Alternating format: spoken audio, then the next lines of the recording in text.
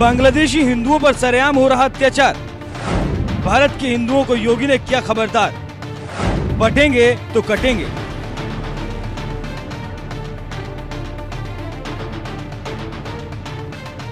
आप देख रहे हैं ना? बांग्लादेश में देख रहे हो ना? कटेंगे तो कटेंगे। एक रहेंगे तो नेक रहेंगे।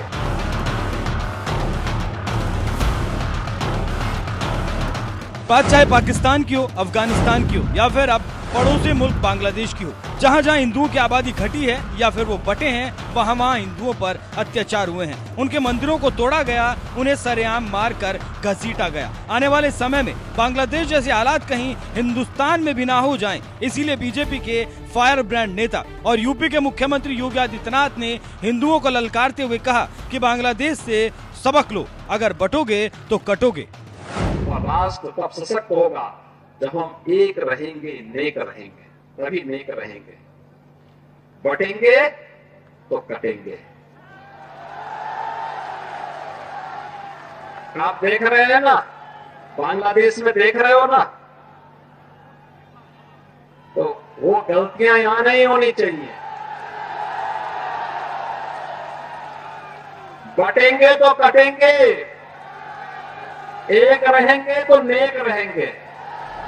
सीएम योगी ने हिंदुस्तान के हिंदुओं को बांग्लादेश से सबक लेने की नसीहत देते हुए एक रहने की हुंकार भरी। तो कुछ सौ कॉल सेक्युलर नेताओं को सीएम योगी के इस बयान में भी सांप्रदायिकता की बू आने लगी। सबसे पहले तो सपाई मुखिया अखिलेश यादव ने सीएम योगी के बयान का विरोध करते हुए कहा। जिम्मेदार लोगों का काम भय से बचाना होता है, भय फैलाना नहीं। अगर ये किसी के व्यक्तिगत विचार हैं तो गलत हैं, और अगर उनके दल के हैं तो और भी ज़्यादा गलत हैं। भाजपा राज में बने भय के इस वातावरण में क्या डबल इंजन कहीं दुबक कर जा बैठा है? निंदनीय बयान। सीएम योगी ने हिंदुओं को एकजुट होने की बात कही तो अखिलेश यादव को योगी की अपील में भी भय नज़र आने लगा। और जब उन्हीं की पार्टी की बड़ी नेता मारिया आलम खान चुनाव के दौरान सरेआम वोट जिहाद की बात कर रही थी, तब शायद अखिलेश यादव को कोई परेशानी नहीं हुई। इसीलिए पूर्व केंद्रीय मंत्री सलमान खुर्शीद की बेटी मारिया आलम खान वोट जिहाद के नाम पर सपा के लिए वोट मांगती रही। बहुत के साथ, बहुत जज्बाती ना होके बहुत खामोशी के साथ होके वोटों का जिहाद करो, क्योंकि हम सिर्फ़ वोटों का जिहाद कर सकते हैं और इस तंगी सरकार को भगाने का काम कर सकते हैं। बहुत शर्म आती है जब मैंने आज ये सुना कि कुछ मुसलमानों ने आज यहाँ पर बैठ के मुकेश राजपूत की मीटिंग कराई। मुझे लगता है समाज से उनका हुक्का पानी बंद कर देना चाहिए। इतना मतलब ही मत बनो कि बच्चों की जिंदगियों से खेलो, हमारे बच्चों की जानों से खेलो। आज कितने लोग सी में जेलों में बंद हैं? और आपको बताने मुझे खुशी हो रही है कि उन बच्चों के कितने केसेस सलमान खुर्शीद साहब फ्री में लड़ रहे हैं। मारिया आलम खान जैसी सपाई नेता खुलेआम मुसलमानों को एकजुट करने के लिए वोट जिहाद की बात कर सकती हैं। लेकिन सीएम योगी बांग्लादेश की हालत देखकर हिंदुओं को एकजुट होने के लिए कह दें तो सपाई मुखिया अखिलेश यादव को तकलीफ़ होने लगती है। कुछ ऐसा ही हाल हैदराबादी सांसद असदुद्दीन ओवैसी का भी है, जिनकी पार्टी बदनामी है विवादित बयानबाजी करने के लिए। कभी उनके छोटे भाई अकबरुद्दीन ओवैसी पंद्रह मिनट की धमकी देते हैं तो भी बड़े ओवैसी अपने छोटे भाई को तोप बताकर धमकी देते हैं। हिंदुस्तान, हम 25 कौड़ है ना? तुम 100 कौड़ है ना? ठीक है। तुम तो हमारे से इतने ज़्यादा है। पंद्रह मिनट के लिए पुलिस को हटा लो, बता लेंगे किसमें हिम्मत है, कौन है। अरे छोटे को रोक के रखा रखाओ छोटे को बहुत रोक के रखा रखाओ अगर जिस दिन मैं छोटे को बोला कि मियाँ मैं आराम कर तो तुम संभाल लो, फिर तुम संभालो। छोटे छोटे। तुमको मालूम ही क्या है, छोटा क्या है, नहीं मालूम। तुमको तोप है वो। बोर बच्चा है, सालार का बेटा है। बहुत मुश्किल से समझा के बिठाना पड़ता उनको। बहुत मुश्किल से। और उनको समझाने वाले का नाम असदुद्दीन अवैसी है, किसके बाप को नहीं सुनने वाला है, छोटा। बोल दू, कल से शुरू करो बैटिंग। अभी खाली उन्होंने टाइमिंग कर रहे सिंगल ले रहे वन टू थ्री कर रहे। अगर शुरू हो गए टी ट्वेंटी का तो फिर तुम्हारा भी टी ट्वेंटी फिर कैसा होगा, देखो। विवादित बयानों की झड़ी लगाने वाले असदुद्दीन ओवैसी को सीएम योगी की ये बात बर्दाश्त नहीं हुई कि कैसे उन्होंने हिंदुओं को एकजुट होने के लिए कह दिया। छोटे ओवैसी, पंद्रह मिनट वाली धमकी दें तो ठीक है। बड़े ओवैसी, भाई की धमकी दें तो भी ठीक है। लेकिन सीएम योगी को हिंदुओं को एकजुट करने की अपील नहीं करनी चाहिए। अगर वो हिंदुओं को एक रहने के लिए कहेंगे तो यही ओवैसी योगी पर हेट स्पीच देने के आरोप लगा देंगे। योगी ने उनके राज में कई फॉल्स एनकाउंटर्स हुए अल्पसंख्यक समाज मुसलमानों के। उनके राज में आज भी बुलडोज़र के ज़रिए मुसलमानों के घरों को तोड़ दिया जाता है। तो और उन्हीं के राज में लोग बोलते हैं कि मुसलमानों का क्या जेनोसाइड नरसंहार हो। वो खुद हेट स्पीच देते हैं मुसलमानों के बारे में। योगी ने खुद कहा था, ठोक देंगे। तो जब वो खुद इस तरह की बातें करते हैं और देश की अखंडता और यूनिटी की बात जब वो करते हैं तो उनके मुँह से जब इतने सब अनाप शनाब बातें निकलती हैं तो फिर वो तो कुछ और ही बात कर रहे हैं। तो बांटेंगे तो कटेंगे। भाई, आप ही तो बांट रहे हैं। कौन बांट रहा है? आप ही तो बांट रहे हैं। बात चाहे ओवैसी की हो या फिर अखिलेश की, अपने नेताओं के विवादित बोल पर तो चुप्पी साध लेते हैं। और जब सीएम योगी हिंदुओं को एकजुट होने की बात करते हैं तो उनके बयान से विपक्षी पार्टियों के पेट में दर्द होने लगता है। अखिलेश से लेकर ओवैसी तक तमाम विपक्षी नेता उनके बयान के विरोध में उतर जाते हैं। इस देश में सपा वोट जिहाद करती है। ओवैसी ब्रदर्स धमकी दे सकते हैं। तो क्या बांग्लादेश का उदाहरण देकर सीएम योगी हिंदुओं को एकजुट होने की अपील भी नहीं कर सकते? योगी ने तो हिंदुओं से बस इतना ही कहा था कि बटोगे तो कटोगे और विपक्ष के सीने पर सांप लौटने लगा। क्या विपक्ष की तरह आपको भी योगी का यह बयान गलत लगता है? अपनी राय हमें कमेंट कर ज़रूर बताएँ। साथ ही योगी के इस बयान पर यूपी की जनता ने क्या कहा, वो भी आपको सुनाते हैं। योगी आदित्यनाथ का बयान आया। 80 सेकंड के उस बयान ने जो है देश भर को हिलाकर रख दिया खासतौर से विपक्षी दल हिल गए हैं। और अंदरूनी तौर पे अगर कहा जाए तो उन्होंने उस बयान के ज़रिए बहुत बड़ी बात कही है यानी कि जागने की बात कही बांग्लादेश में जो भी अत्याचार हुआ हिंदुओं पर इसलिए उन्होंने हिंदुओं को जगाने की बात कही। कितने सहमत है इस बयान से कि बटेंगे तो कटेंगे? भाई साहब मैं पूरी तरीके से योगी आदित्यनाथ जी के इस बयान का समर्थन करता हूँ। और ये उनका बयान एक मुख्यमंत्री के तौर पर नहीं है। हम्म। उनका ये बयान एक सनातनी के तौर पर है। और चूँकि सनातन को जिस तरीके से आज बांटा जा रहा है, आज ज़रूरत है कि हिंदू एक हों। एक पुराना इतिहास रहा है वो। पहले मुग़ल आए, मुग़लों ने बांटा, अंग्रेज़ आए, जिनकी तो नीति ही थी, फूट डालो राज करो। जात के नाम पर, रंग के नाम पर, काले गोरे का भेदभाव करके हिंदुओं को बांट दिया गया। और आज की जो राजनीति चल रही है वो भी जाति के नाम पर बांटने की चल रही है। अभी आप जानते हैं कि आप तो पत्रकार आप तमाम न्यूज़ कवर करते हैं। आप जानते हैं कि विपक्ष के कुछ नेता और बड़े बड़े शहजादे कुछ मांग करते हैं कि जातीय जनगणना करवाई जाए। जातीय जनगणना पर करवाई जाए। और जिसपे सत्ता पक्ष ये कहता है कि नहीं करवाएँगे हम जातीय जनगणना। भाई, जातीय जनगणना करवाई जाए तो क्यों करवाई जाए? और करवाई जाए तो क्या एक धर्म विशेष की तरफ़ करवाई जाए? ये सवाल पैदा होता है। क्या इस देश में सिर्फ़ हिंदू ही धर्म है? क्या हिंदुओं को बांटने का ठेका लेकर बैठे हैं वो लोग?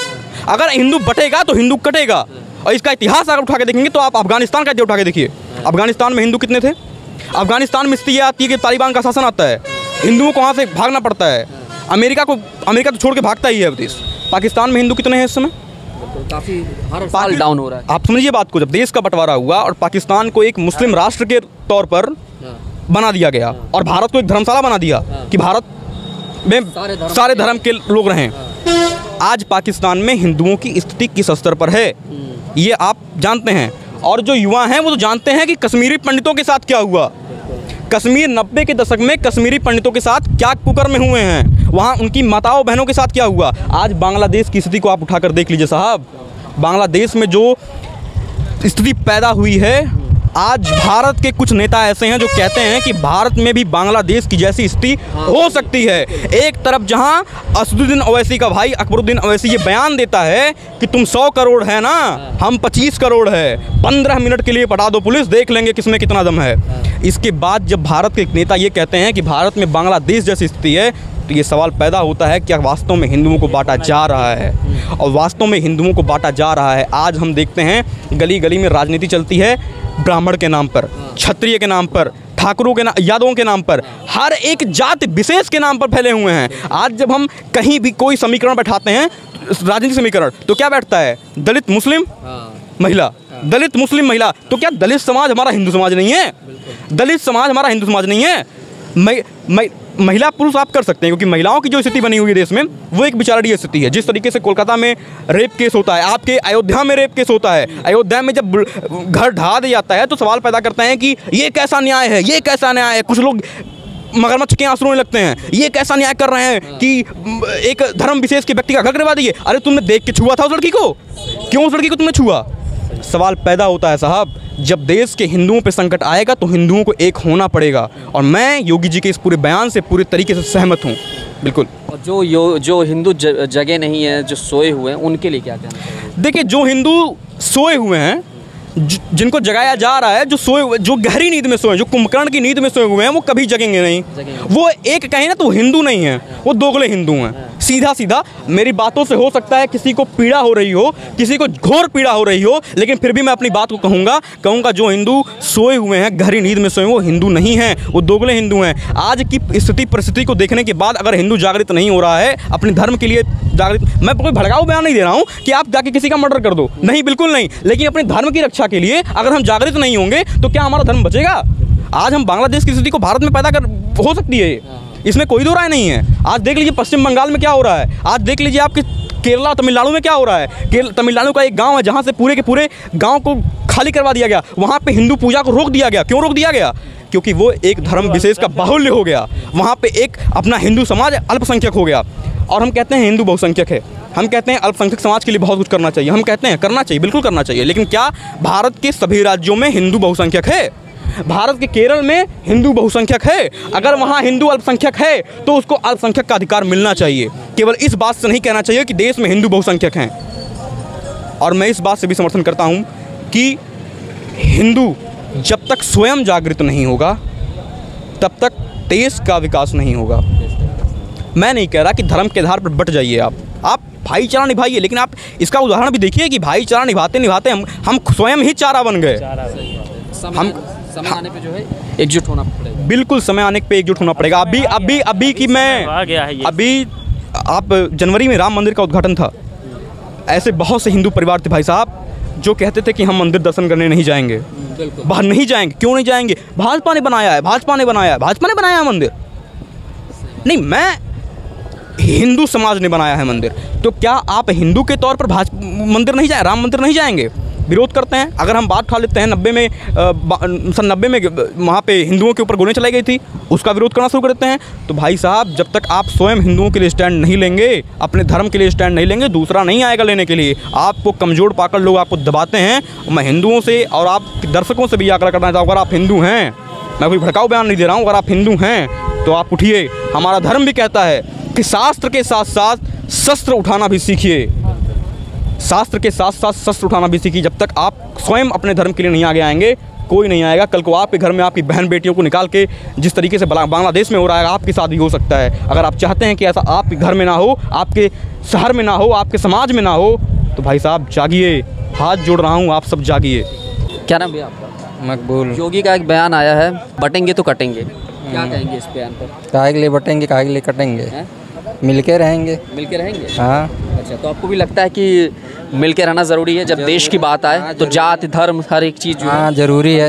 नहीं नहीं ज़रूर। कुछ लोग इसको मुद्दा बना रहे हैं। कुछ लोग ये कह रहे हैं कह रहे हैं कि जो है किसी एक विशेष जाति धर्म की बात कही है योगी ने। आपको लगता है किसी एक की बात कही उन्होंने या देश की बात कही है? नहीं देश की बात है देश के हिसाब से सुनेंगे। योगी और मोदी से क्या हम सुनेंगे?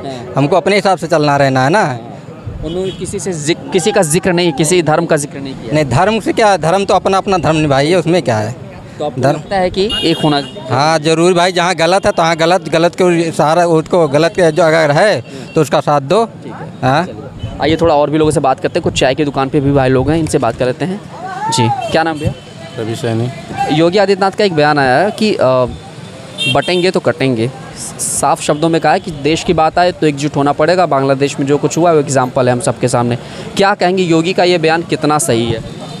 इनका जो बयान दिए हैं इनका बयान सही है और इनसे हम लोगों को एक संदेश ये मिलता है कि आज अगर जो एकत्र नहीं हुए तो आगे चल के परेशानी बहुत आनी है। और इसी परेशानी से लड़ने के लिए अगर हम आज एक हो जाएँगे तो आगे मजबूती बनी रहेगी। उनका कहने का मतलब ये है। और अगर जो उनके बयान से किसी और को किसी चीज़ की तकलीफ़ होती है या मन में कुछ गलत अभाव या कुछ संदेश चल रहा तो ये गलत सोच है। उनका कहने का मतलब केवल ये है कि हम लोग एक हो जाएँ। राष्ट्रहित की बात है राष्ट्र की बात है। और जहाँ राष्ट्रहित की बात है वहाँ पे हिंदू हो मुस्लिम हो कोई भी हो केवल राष्ट्र को बचाना ही एक अपना धर्म होता है। ये नहीं कि हम हिंदू हैं हम अलग हो जाएँ हम मुस्लिम हैं अलग हो जाएँ। आज अपने राष्ट्र को बचाना है। जब तक एक नहीं होंगे अपने राष्ट्र को नहीं बचा पाएँगे। और उसमें दलित कौन है हिंदू कौन है मुस्लिम कौन है और पंडित कौन है ठाकुर कौन है अगर जो देश पे आपदा आती है तो किसी ये ये देखकर नहीं आएगा कि हम हिंदू हैं। बिल्कुल सही कह रहे हैं। ये देखकर नहीं आएगा कि हम हिंदू हैं। वो वो आपदा आएगा तो उसमें चाहे मुस्लिम होंगे चाहे हिंदू होंगे चाहे पंडित होंगे चाहे ठाकुर होंगे चाहे माली चाहे सैनिक चाहे कोई भी आएगा आपदा सबके ऊपर आनी है।